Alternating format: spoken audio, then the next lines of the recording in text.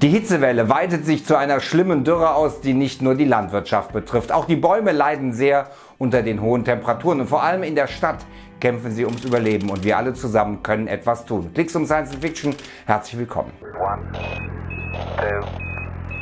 Die Hitzewelle wird immer dramatischer. Nicht nur, dass wir Ernteausfälle von bis zu 70 Prozent haben, sondern jetzt geht es auch den Bäumen an den Kragen. Die ersten Blätter färben sich gelb, die Bäume bekommen nicht mehr genug Wasser und reagieren. Problem, vor allem in der Stadt leiden gerade die jungen Bäume extrem. Die kleinen Baumscheiben um die Bäume lassen selbst wenn es regnet kaum Wasser zu den Wurzeln und vor allem die jungen Bäume haben dann zu wenige Wurzeln, die tief genug reichen, um aus tieferen Regionen Wasser nach oben zu pumpen. Hinzu kommt, dass ihre Pumpleistung immer weiter zurückgeht. Das haben Forscher des Max-Planck-Instituts für Biogeochemie jetzt herausgefunden. Irgendwann ist der Druck sogar so niedrig, dass das Wasser gasförmig wird und so den Wassertransport hemmt. Wenn das in mehr als 60 Prozent der Wasseradern im Baum passiert, stirbt er ab. Damit ist zum ersten Mal klar, wann Bäume sterben. Besonders davon betroffen sind eben die jungen Bäume und die vor allem in der Stadt. Sie sterben besonders schnell während der Hitzewelle. Hier in der Straße gibt es einen solchen Baum, er hat es nicht überlebt,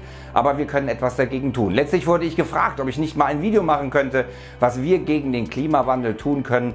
Und gestern schlug mir Johannes Jajow auf Instagram vor, zum Gießen der Bäume aufzurufen. Also, wir können etwas tun, wir können die Bäume retten. Baumexperten und Expertinnen empfehlen, jetzt die Bäume zu gießen, dann können sie den heißen Sommer überleben. Deshalb macht alle mit bei unserer Aktion Rettet die Bäume. Schaut bei euch in der Umgebung nach jungen Bäumen, die vielleicht sogar schon Blätter abwerfen und gießt sie ordentlich. Mindestens sechs Eimer, also 10 Liter Eimer Wasser brauchen sie pro Tag. Macht Videos, postet und twittert und nominiert andere YouTuber und Influencer und motiviert jeden, den ihr kriegen könnt. Dann können wir ein großes, großes Bäumesterben in diesem Jahr verhindern. Es ist ganz einfach und wir können etwas verändern. Und damit ihr auch direkt zur Tat schreitet, gibt es jetzt keine Endcard, sondern nur eins, rettet die Bäume. Und ich nominiere äh, Open Mind und Simon Will. Social Media, do your work.